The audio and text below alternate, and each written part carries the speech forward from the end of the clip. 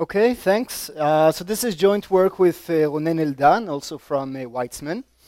Uh, so as most of you probably know, uh, the word deep uh, became very, very popular in machine learning over the past few years with the dramatic resurgence of uh, multi-layer neural networks.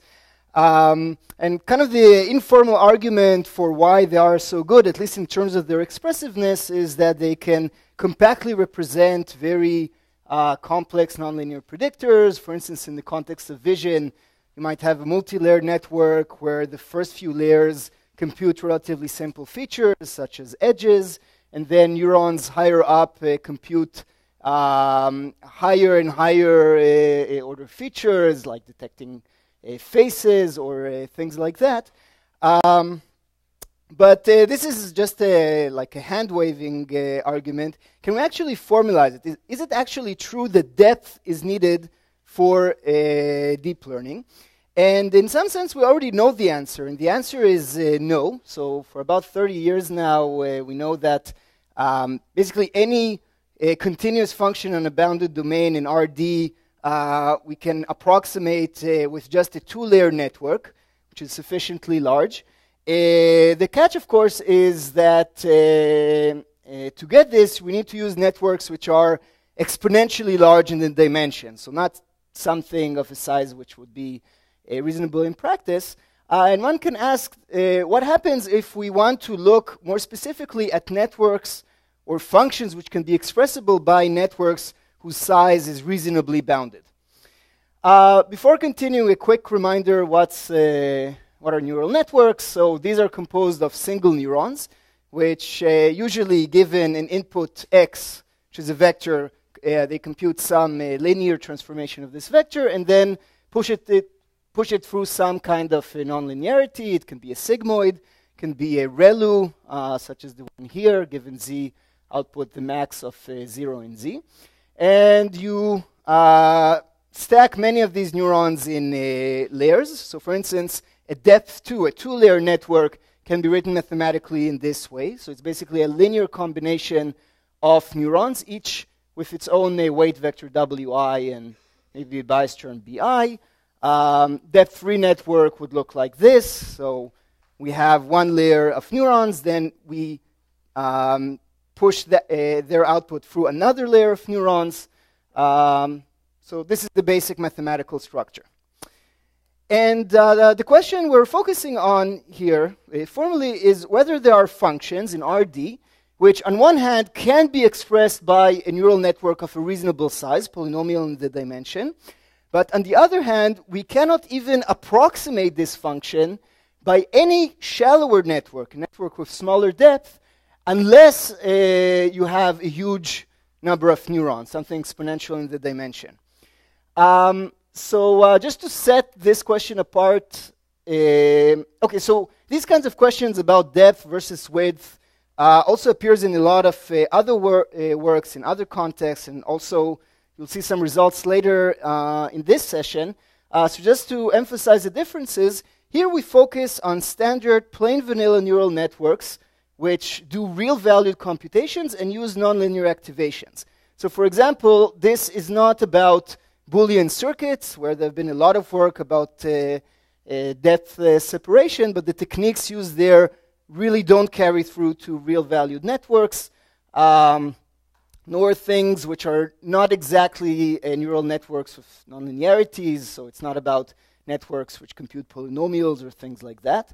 Uh, also, we focus directly on approximation error, not on some indirect measure such as the number of linear regions if it's a the, uh, the network computes some piecewise linear uh, function.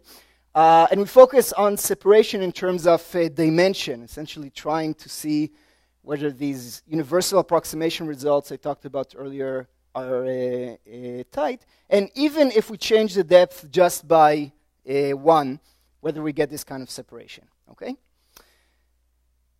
so, in a nutshell, this is the main result of the paper. So uh, we don't look at a specific activation function. Basically, it can be any activation which satisfies some uh, mild conditions. It needs to be measurable. I hope you're okay with that. Uh, it needs to increase polynomially. And it needs to be universal. uh, in the sense that uh, uh, with a two-layer network using this activation, I can approximate any Lipschitz function on some bounded interval uh, over the reals.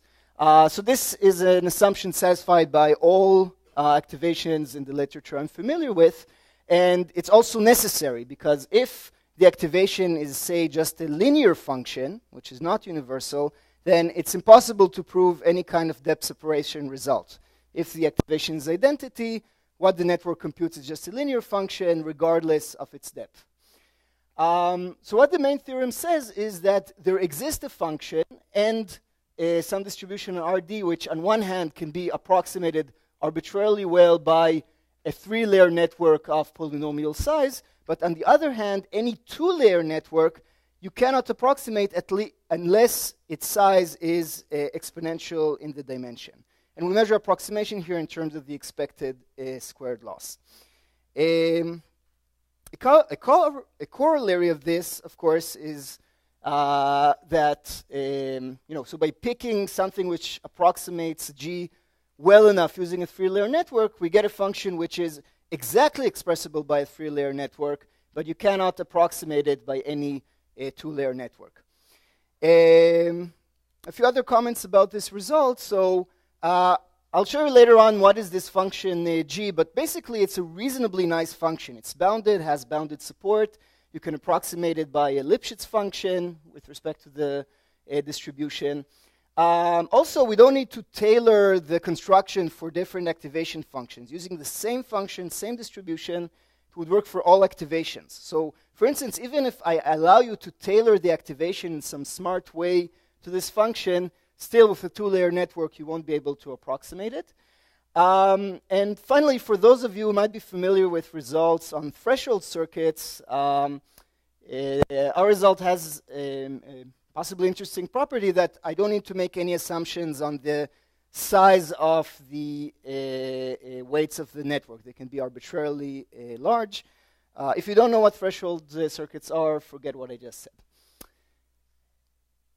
Okay, so the kind of functions that we're going to look at are going to be simply radial functions. So these are functions which can be, which depend just on the norm of the input. And um, you can give some uh, reasonable uh, uh, motivations uh, for this. So, you know, say in the context of vision, if you want to, maybe somewhere in your network, you want to compare two patches and say whether the distance between them is larger than something or whether some patch is similar to some other patch. Essentially, you need to compute a radial function. Um, so on one hand, radial functions are easy to approximate with uh, uh, depth-three uh, networks. So the basic idea is that with one layer plus a nonlinear activation, you can approximate the univariate function x mapping to x squared, at least in some uh, bounded interval.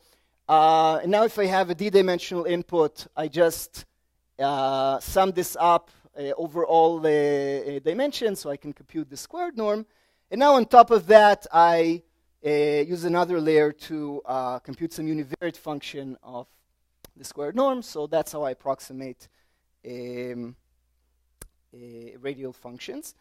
On the other hand, if i am forcing myself to use just uh, uh, two layers, intuitively this would be kind of difficult uh, to do because a two-layer network is a linear combination of functions which look like this, if I use a sigmoid or a ReLU, and if I have a radial function which changes in some way in all directions, intuitively it would be hard to capture it in high dimensions using uh, uh, functions of this form. Of course, this is just hand-waving intuition. Uh, to explain a little bit the more formal uh, proof idea, uh, so it goes through Fourier uh, through a Fourier analysis on RD. So how many people here are familiar with the Fourier transform on RD? Okay, most of you. Uh, so the basic idea is that we uh, look at the, again, expected squared loss between, um, say, a two-layer uh, network represented by function f and the target function g. Um, we can write it, if we have some distribution, um, as a, the L2 distance between f times phi, phi, where phi is the square root of the density, minus g times phi, And then there's this basic result in uh, Fourier analysis that the L2 distance is preserved if we take a Fourier transform. So essentially, we just need to understand what is the structure under a Fourier transform of two and three um, layer networks. And it turns out the two layer networks actually have a very special structure.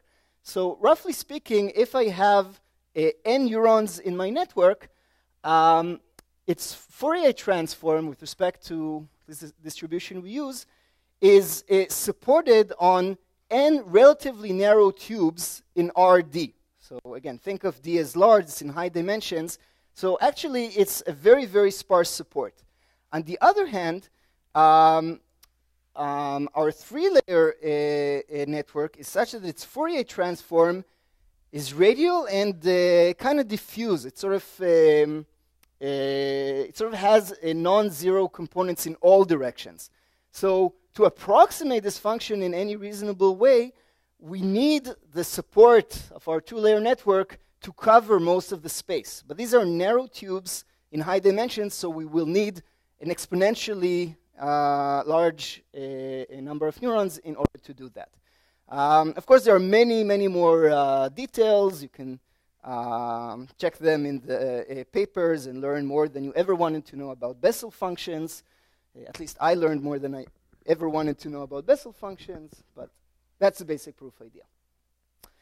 So, uh, to summarize, um, we showed that uh, depth, even if it's increased just by one, uh, can be exponentially more uh, valuable than width, and this is for standard plain vanilla neural networks. Um, and we did it through looking at radial functions, which I think are kind of uh, reasonable and um, are a good uh, test case. And there are some natural open questions. First of all, can we get separation not just between two and three layers, but maybe L and L plus 1 for arbitrary L. Um, we showed the result for a certain carefully constructed radial function.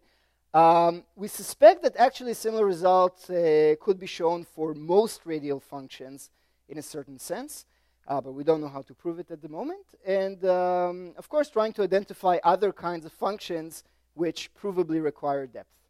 So I'll stop here. Thank you very much.